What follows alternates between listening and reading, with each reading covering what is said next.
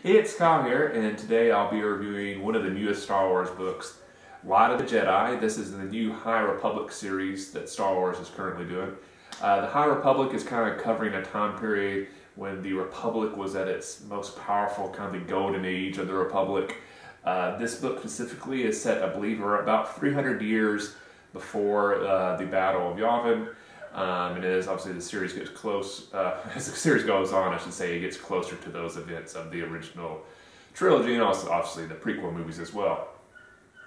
Uh, this is a very interesting series that Star Wars is doing because uh, with the High Republic, it's going all out. They're doing different types of books. So you have these adult novels, but you also have YA books, uh, books geared towards kids, uh, comic books. So it's you know multi types of storytelling methods to kind of tell this period of the High Republic, which I think is kind of cool. It kind of gives um, something for all Star Wars fans to kind of get into this new period of Star Wars history that they're exploring. This is kind of also exciting to kind of see them delving into this period of Star Wars history that really hasn't gotten much attention, especially since Disney has taken over. So it'll be interesting to see uh, what this period of Star Wars history is about and kind of how the Jedi and the Republic develop during the events of this book to kind of give you an idea of what the galaxy like at this point, is at this point. The Republic is just beginning to kind of branch out into the Outer Rim. Uh, so the Outer Rim is almost a lot more like almost like a frontier at this point. Uh, hyperspace, hyperspace routes, to say, are just now being developed to kind of help connect the uh, core worlds with the Outer Rim. So the Outer Rim is becoming a part of the Republic, but it's barely that, and it's still you know, it's, it's a huge transition period, basically. Uh, the Jedi are uh, very involved in this uh, Republic expansion. Um, they view the Republic as bringing like bringing peace and stability to the galaxy, which is goes along with their goals. So they are all about that. So it kind of gives you a little bit of idea of what the uh, I guess the state of the galaxy is when a lot of the Jedi starts off.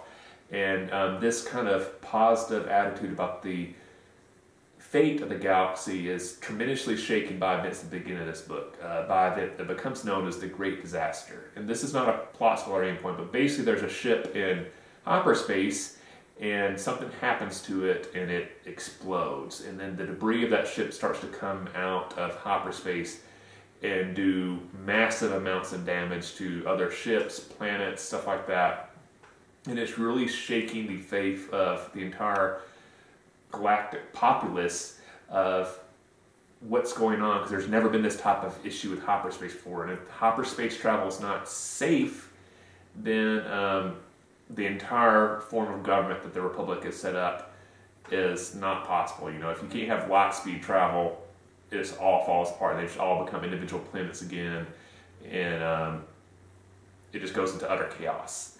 Um,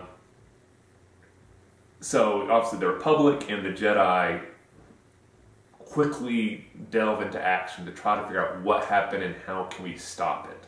While this is going on, we're also seeing um, this uh, group of marauders, pirates almost, uh, who are involved in the storyline in some way, and they're kind of coming from the other angle and like how can we take advantage of this? How can we gain power? How can we gain money and riches from this disaster that's happened?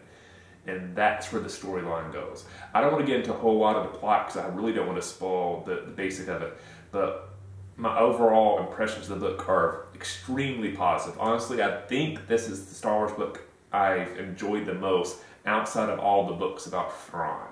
Uh, books about Grand Admiral Thrawn are always my favorite. I absolutely love them. I'm pretty confident in saying this might be my favorite non-Thrawn Star Wars book, which makes me very excited to see how this storyline goes. The writing style by Charles Soule was amazing. It felt like a Star Wars book, but he added his own little spin to it, so it kind of felt new and dynamic.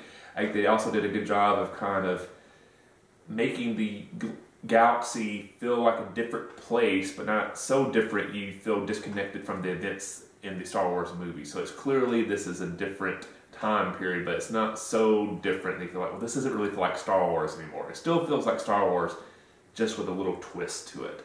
Uh, the characters very interesting. One thing um, I found very interesting was to kind of see the various Jedi that are explored in this uh, book because there are several Jedi and they all have kind of different views of the Force and how it should be used and what their role is in and what their strengths and weaknesses are. Um, that was very cool.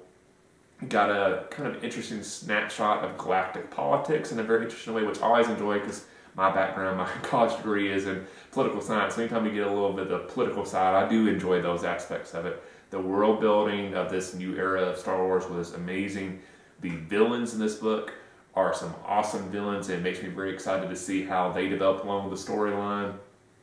It is overall a very action-packed, entertaining read. So I would definitely encourage you if you've been kind of if you've heard the High Republic, like I'm not sure if I want to delve into this series or not. I would highly recommend you check out the Light of the Jedi. I think you'll enjoy it, and honestly, you think I think you'll get hooked. My current plans, honestly, I'm probably just going to stick to reading the full novels. I think at this time I'm planning on getting into the YA and kid novels because I like the way it's written, you get some stuff out of that, but if you don't read those, it's not like you're going to be lost when you read the adult novels. So for now, I'm just going to read these books, but who knows, maybe in the future I might get into the YA and the kids book just so I get all the angles from the storyline. Um, if you've read The Light of Jedi so far, let me know in the comment section um, below what you think of it. I'd be really interested to see what your opinion is of this new kind of ambitious um, period of Star Wars history that they're going to be covering in the books. Uh, anyway, hope you enjoyed this review. As always, if you like this video, please hit that like button. If you haven't yet, please subscribe to the channel. I really appreciate the support. It means a lot to me every time I get a new subscriber. It really, really means a lot to me, honestly. So I really appreciate everybody that subscribe and all new subscribers. So anyway, happy reading. May the force be with you, and I'll see you the next time.